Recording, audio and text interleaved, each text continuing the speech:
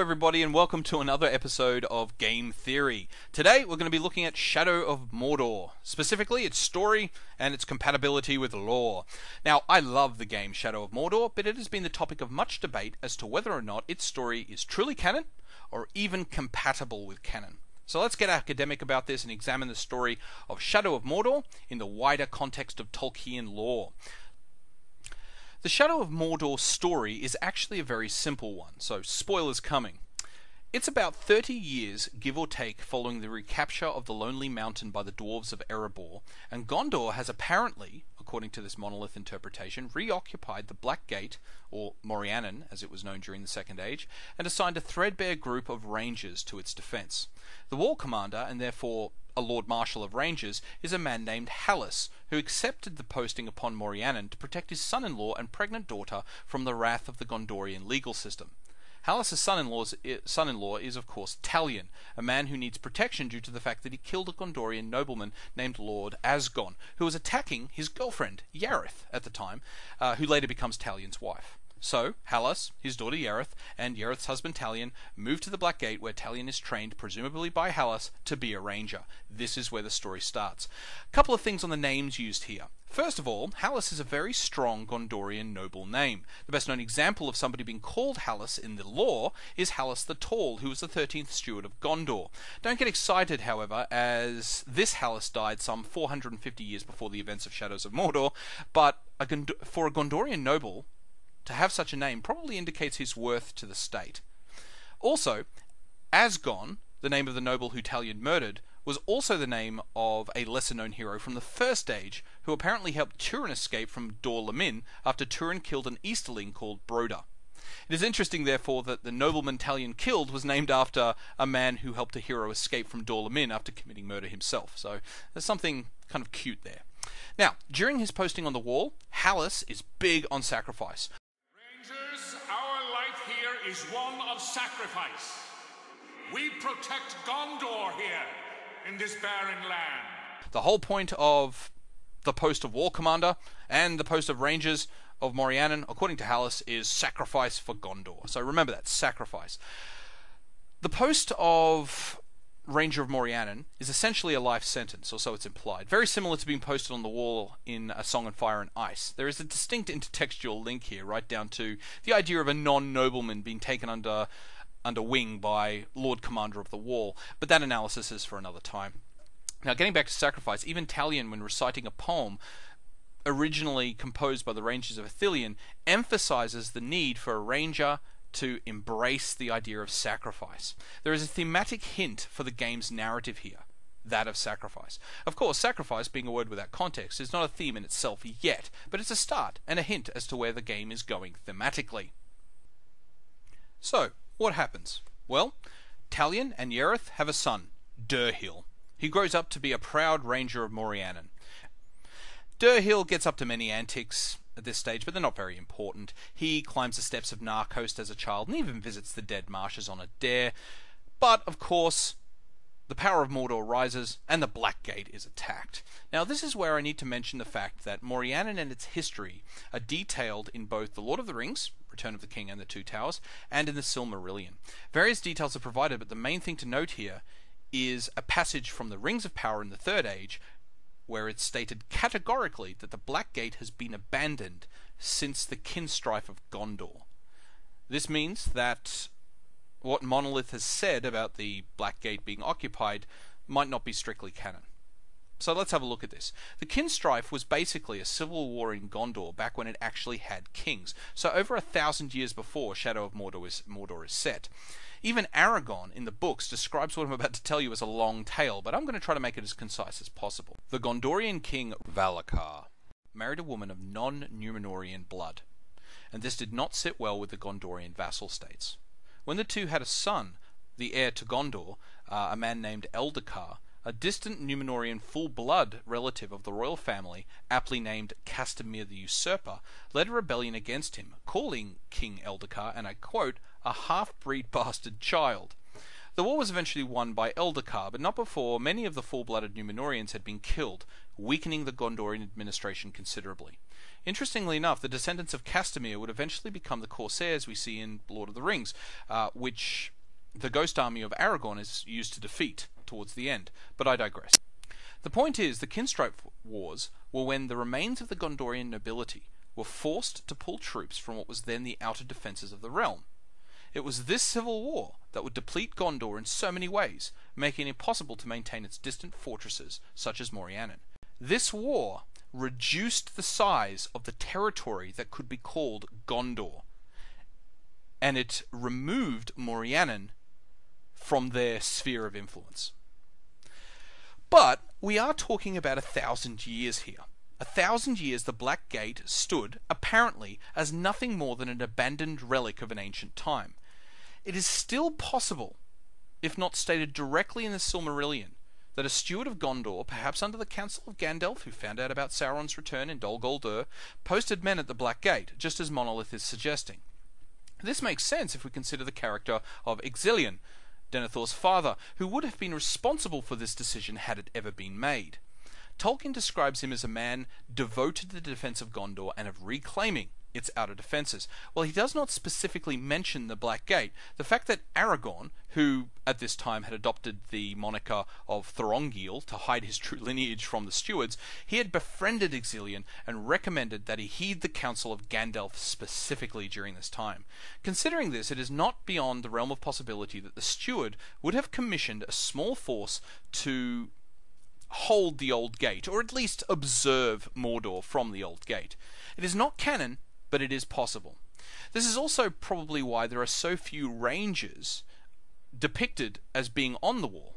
We never actually see any of them during the battle in which the wall is taken by orcs. It is almost like this whole thing, this whole Shadow of Mordor game, is almost like a footnote in history, lost to lore because of its insignificance. A handful of rangers sent to an ancient and abandoned fortress wall to watch for the rise of the Dark Lord, and they never got to report anything of their plight as they were all slain. It's actually quite epic and quite cool, so I like what Monolith has done there. So yeah, Rangers on the Morannon, half century prior to the War, War of the Ring. Not canon, but possible. So, let's continue. What happens next? Well, this is the interesting part. The Black Gate is attacked and taken by orcs and Uruks of Mordor. Just to be clear, the presence of Uruks in this battle is actually canon some people have argued that Uruks wouldn't have been around then, they were invented by Saruman. That's not entirely true. The first appearance of Uruks in Tolkien's works is in his description of the sacking of Osgiliath in the year 2475 of the Third Age, roughly 500 years before Shadow of Mordor is set. Uruks of such number as to blacken the white steppes of Osgiliath flowed like a river of death over the besieged city. So yeah, Uruks at the Black Gate 50 years before the War of the Ring is totally fine and totally within the bounds of canon. After the slaughter of all the rangers upon the wall, Talion, his wife Ioreth, and his son Dirhael are ritualistically killed in a ceremony involving blood and bone as a means of restoring the wraith Celebrimbor. Now, here is where it gets obscenely complicated. A wraith in Tolkienian lore is always evil there are no good wraiths. Tolkien was very clear in all of his works that natural equals good, unnatural equals bad. Any undead being is therefore bad. A wraith is actually the baddest of the bad, a being committed to the void, or Shadowlands, Sauron's domain. And the Shadowlands, look, nothing good exists there. It is described, amongst other descriptors, as being a land of death, forgotten memories, and the Nazgul. It was a realm created by, or brought into existence by, we're not really sure, Sauron, or perhaps even Morgoth. In fact, the only way you could get there was through the use of one of the rings of power, or by being stabbed by a Morgul blade and having a piece of it work your way work its way into your heart and corrupt every part of your living soul until you are nothing more than a shadow of your former self. Even the dead men of Dunharrow are not considered to be wraiths. They're just ghosts. They're not evil enough to have that title, and they betrayed their entire state, put in jeopardy an entire war effort, and denied their oath to the king. So yeah, you get the general idea. To be a wraith, you've got to be pretty evil. This means that Celebrimbor's wraith in Shadow of Mordor is evil and bound to walk the divide between the living and the dead. Now, if you look at Celebrimbor's actions and attitudes throughout the, the course of the game, this is not too much of a stretch. He lets slaves be beaten and killed in order to create a distraction.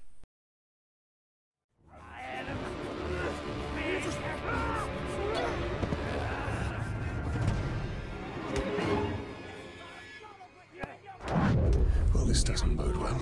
Don't you see? The prisoner created a distraction.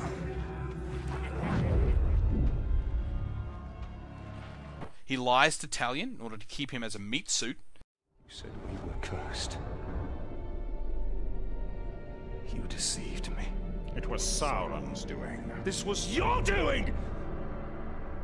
I should have died with my family. I thought you wanted revenge. He wears the One Ring of Power.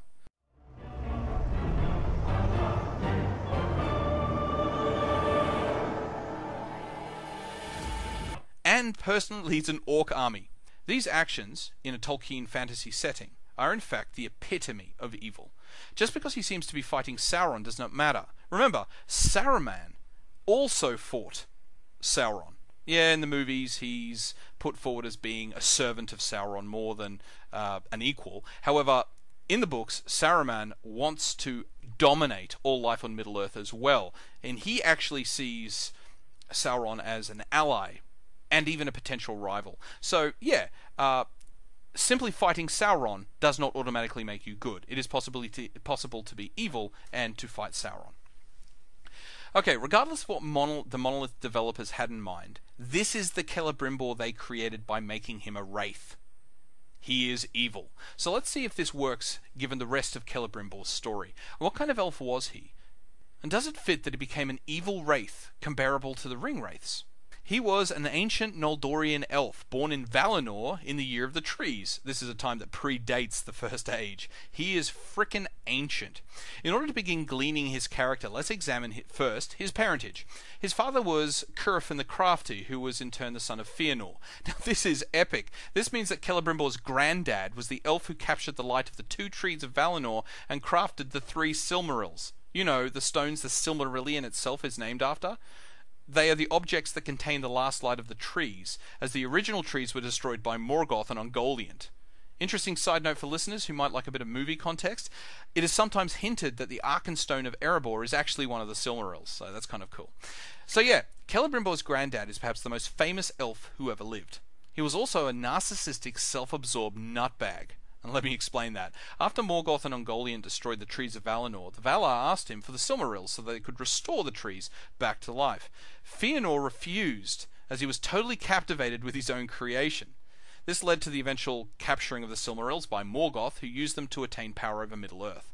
As Sauron was the lieutenant of Morgoth, it could be argued that Fëanor's selfishness actually brought about all the troubles in Middle-earth. So yeah, uh, that's Celebrimbor's granddad. Now let's look at his dad. Now let's be clear, Curufin the Crafty, Celebrimbor's dad, was a bastard.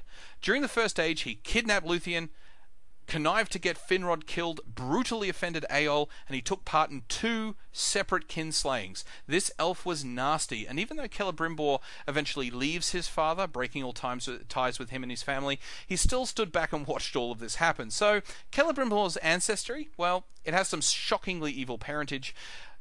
Not as evil as Morgoth or S- Sauron, but pretty damn bad in its own way.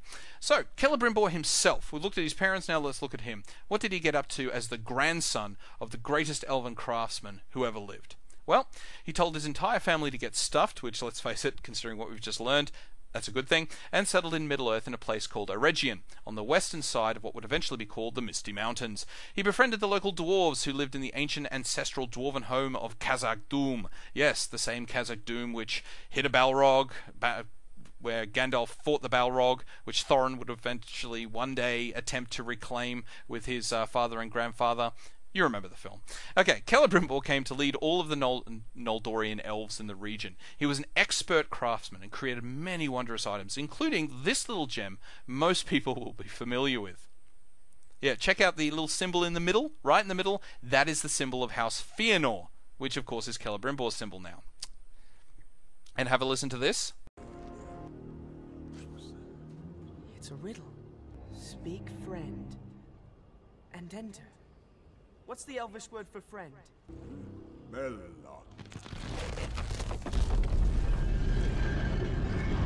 Why is the password Elvish?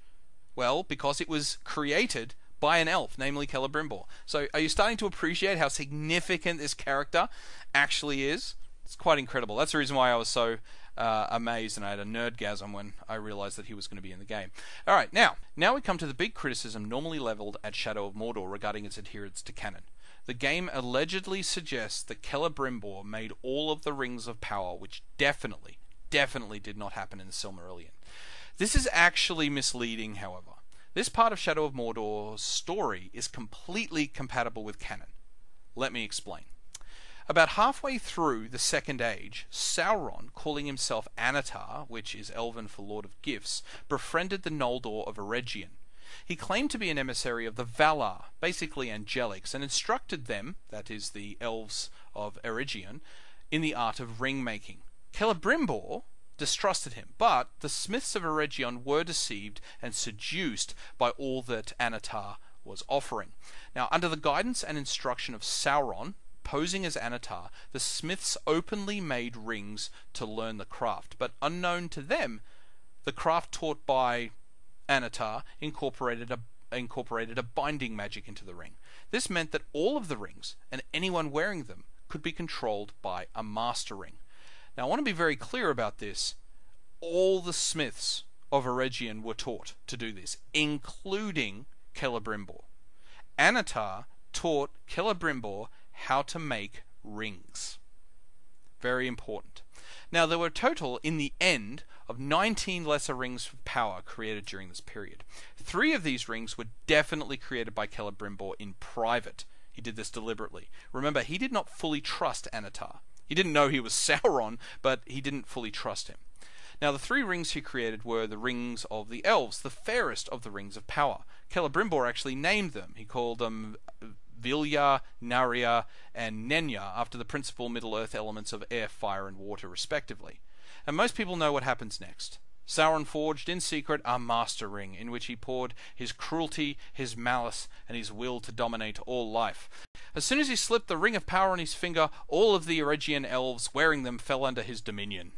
Fortunately, Celebrimbor had forged his own three rings, which were untouched by Sauron, and therefore not as easily influenced. He and the other ring bearers, including Galadriel at this time, were able to remove them. He then freed the rest of their brethren and went on to resist Sauron.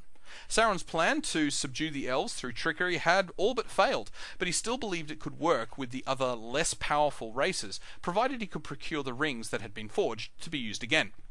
So, what did he do? He invaded Eregion with an orc army and destroyed the Noldor kingdom of Celebrimbor. He captured Celebrimbor and tortured him for, for information regarding the location of the 19 rings of power so that they could be reused and regifted to others. Celebrimbor, under torture, confessed the location of 16 rings but withheld the location of the three he had made in private. Sauron then killed Celebrimbor. This is the tale told by the Silmarillion. So let's see what Monolith made of this story.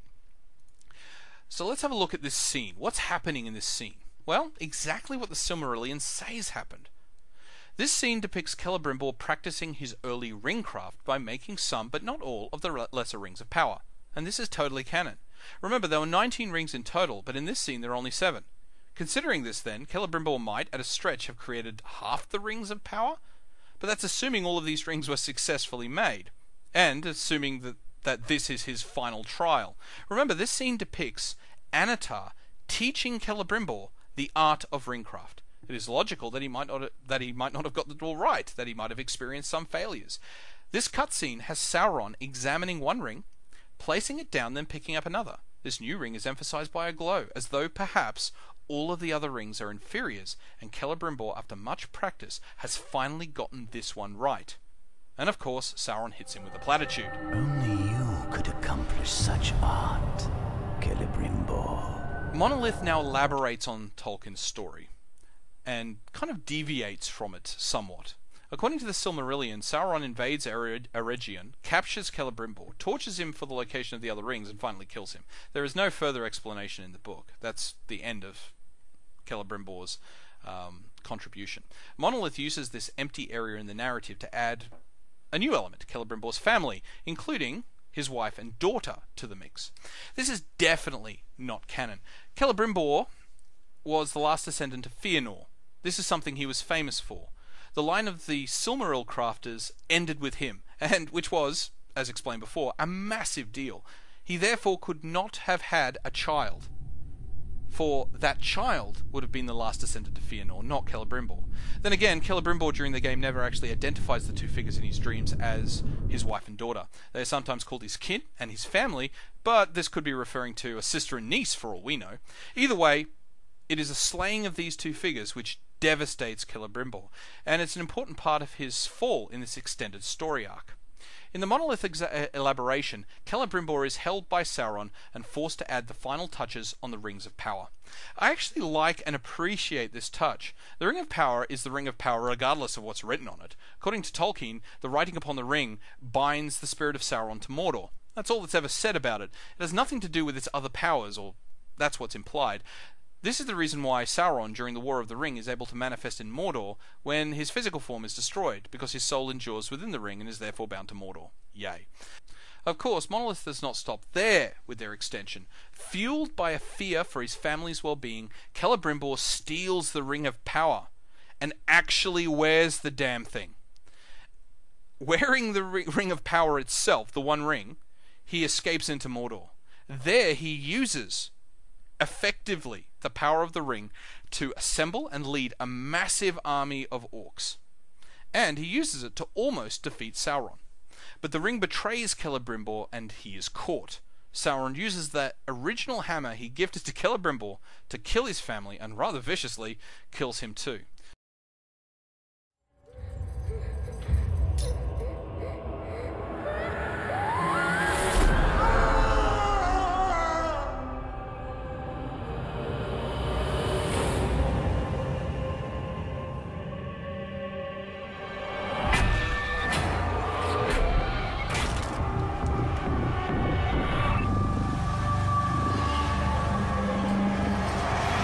So this is the extension there from beginning to end.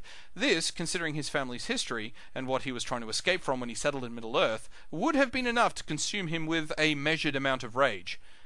Now consider all that rage in addition to the fact that he wore the Ring of Power for an extended period of time. The Ring of Power answers to only one master, and it corrupts anybody who touches it. This is enough to produce a wraith from a spiritual point of view. So, regardless of all the little embellishments, Monolith has said, How do we make him a wraith? Have him wear the Ring of Power for an extended period of time and become evil. And that's exactly what has been done here. Therefore, compatible with canon. Compatible. Jumping forward about 3,000 years, Celebrimbor is now a wraith summoned into the body of a recently executed ranger, Talion. Right, now it's time to get technical. The big questions here are how and why, and we're going to tackle how first. So, how is Celebrimbor here? What mechanism allows him to manifest as a wraith?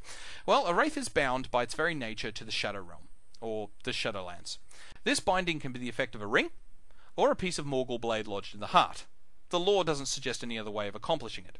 In every instance, however, it does require a physical object with power to make the wraith possible.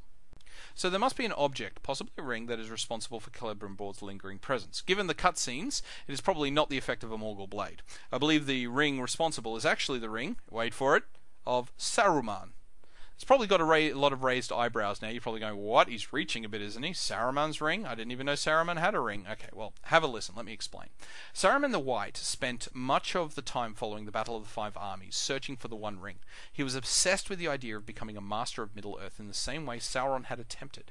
He coveted this so much he actually attempted to create a ring of, a ring of power of his own from an existing ring. He failed, but he still produced a ring of considerable magical ability. This ring is not mentioned in the movies, but it definitely appears in the books and is widely considered to be one of the 19 rings of power created during the Second Age by the elves of Eregion. Uh, I'll give you a quote.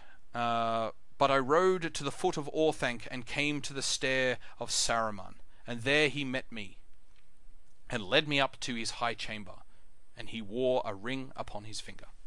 Gandalf mentions this ring when he's describing his meeting with Saruman. Saruman also, on one occasion, refers to himself as Saruman the Ringmaker.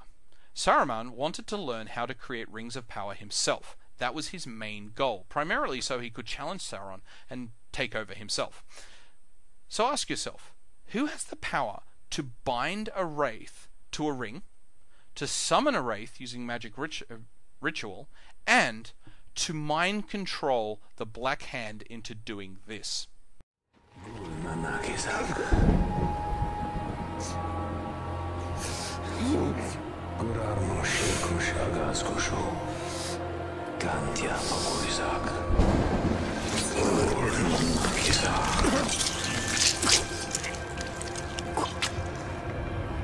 Come back to me, Elf Lord. His ability to mind control is actually one of his main abilities as a wizard. The main challenge to this idea is the argument that Celebrimbor's summoning was due either to A. Sauron working through the Black Hand, or B. It's the Black Hand working independently. These are obvious, okay? This is what it looks like at first glance.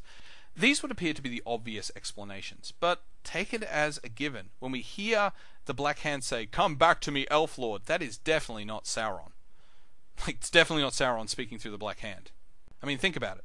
Why would he want Celebrimbor back in the first place? To make more rings? Remember, it was Sauron who taught Celebrimbor the art of ringcraft, so there is absolutely no purpose the Elf Lord can serve to Sauron. The Black Hand, maybe? As an independent? Maybe he's trying to, you know, usurp some power by getting a ring of his own, by summoning. Well, maybe. Possibly, but extremely unlikely. The Black Hand is supposed to be the primary captain of the still incorporeal Sauron, pending the full resurrection of the Witch King of Angmar. It is doubtful that Sauron would have such a free thinker in charge of his entire garrison. Not only that, but the Black Hand could not really benefit from a Ring of Power. I mean, he already has the complete and total loyalty of thousands and thousands of orcs, and wearing a Ring of Power would just make him subject to the the One Ring, so even more. So, I don't know. It it doesn't make any sense for either the Black Hand or Sauron to want to resurrect Celebrimbor. In fact, it would be more trouble than it's worth. Only Saruman has a motive to bring back the last descendant of Fëanor and his name has not been dropped into the mix here without context or calling. Saruman's involvement is clearly established in this cutscene.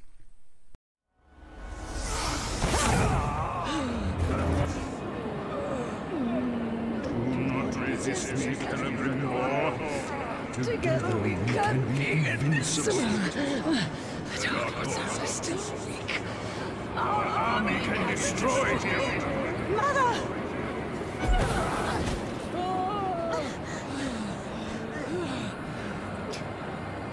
Break the staff.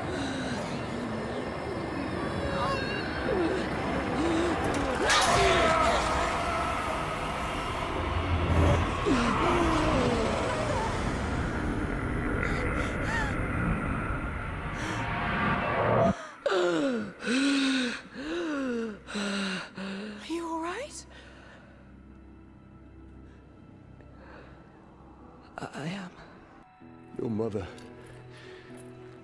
He's been under the spell of a very powerful wizard. Talion, I am sorry. Saruman brought you here against my will. I went to him for help. I ended up being a prisoner within my own body. See? Sar- Saruman wants Celebrimbor's soul, and he can get it through the people he possesses. So how does all this play out? Well, Saruman finds one of Celebrimbor's old lesser rings of power, puts it on, and binds the lingering wraith spirit of Celebrimbor to it. He tries to bend the spirit to his will, but Celebrimbor has worn the ring of power, so where does his spirit go? Right where the ring text says it should go, straight to Mordor.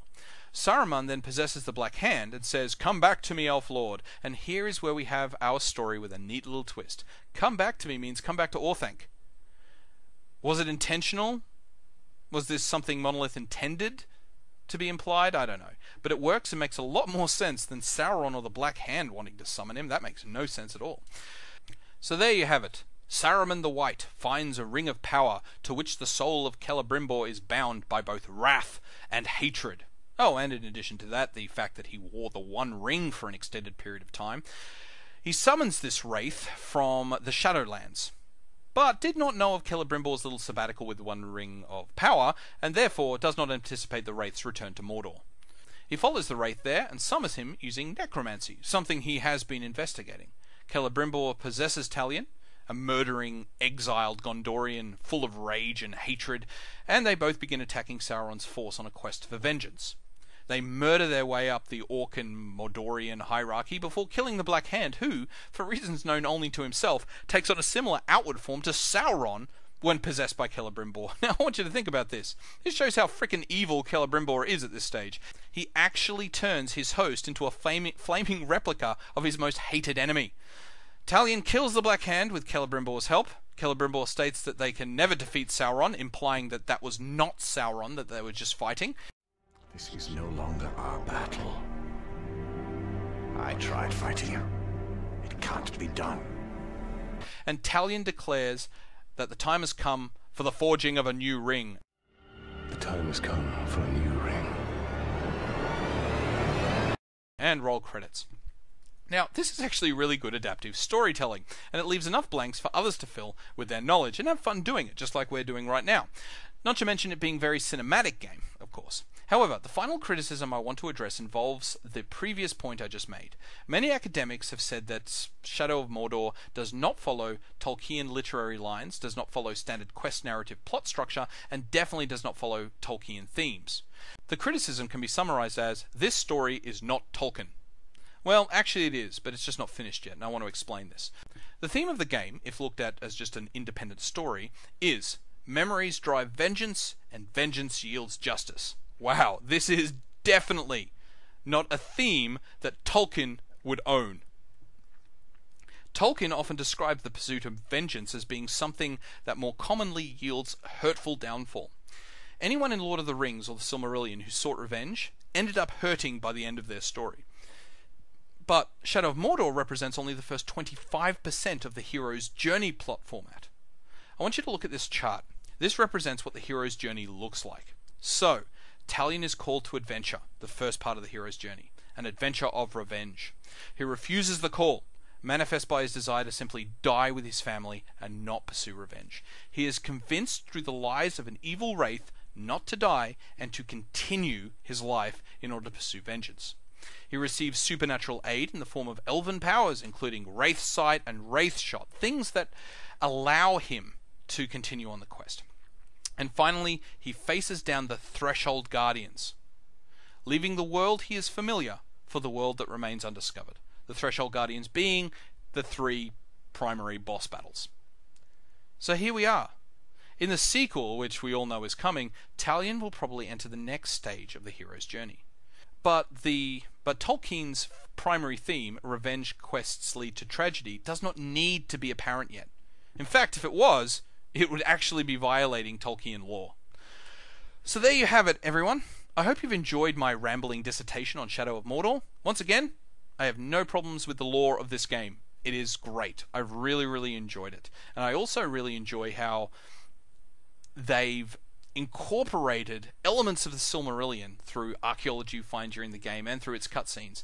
Um, it's been done very, very well. So, anyway, uh, if you disagree with anything I've said, please feel free to put it in the comments. I will reply to you.